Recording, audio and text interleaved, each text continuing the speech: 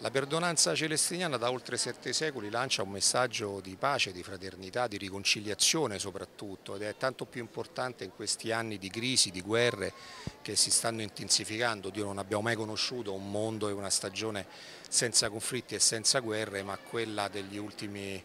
due o tre anni è un mondo particolarmente conflittuale con situazioni molto, molto difficili, molto critiche, per le quali oltretutto sembra anche difficile vedere la fine. Speriamo che il messaggio universale che parte dall'Aquila, dal messaggio di Celestino possa colpire i cuori anche di quanti sono oggi impegnati in questi conflitti e che possa aiutare questo percorso di riconciliazione.